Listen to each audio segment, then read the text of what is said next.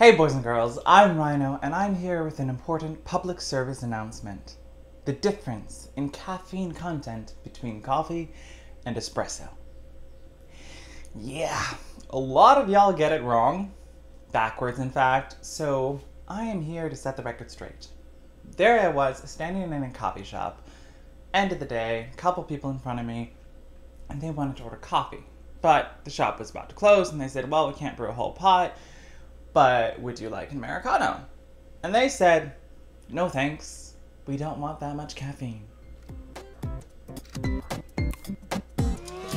Alright, so here's the situation.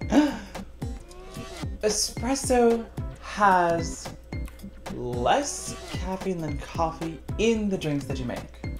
Because an 8 ounce cup of coffee has 150 milligrams of caffeine, which is the same as two shots of espresso. But most habitual drinkers will have an espresso drink with two shots, but they're not going to drink 8 ounces of coffee. You usually drink 16 ounces of coffee. You'll have two, three, four cups easily. But point being, if you're having a 16 ounce cup of coffee, that's 300 milligrams, which is twice as much as the espresso drink, because it's unlikely that you're having four shots of espresso. If you are having four shots of espresso, then it is 300 milligrams, which is the same as a 16 ounce cup of coffee.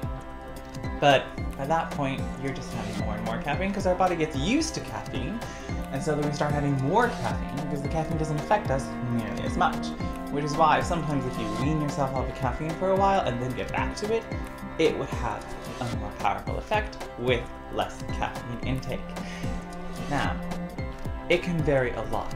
It's not always 150 milligrams for 8 ounces of coffee because it depends on how youthful the plant was, how the plant was, beans were roasted, um, how much water was used, how it was brewed, how long it was brewed, how fine the grounds were.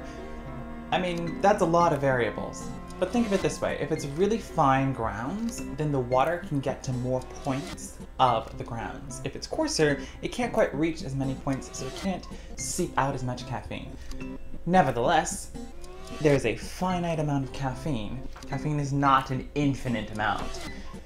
Now, you could also check out my video on the caffeine content of tea, and that has a lot to do with the youthfulness of the plant. I explain it in great detail and make a kick-ass Arnold Palmer. And at some point, my little espresso machine is coming, and we are going to make some espresso drinks. Yay! So, thanks for watching the show. Please subscribe. If you have recipe requests, send them my way. I have a whole bunch of plans. We're gonna expand the show like Oprah. It'll be great. Thanks for watching. Have a good one, and stay informed. Mm -hmm.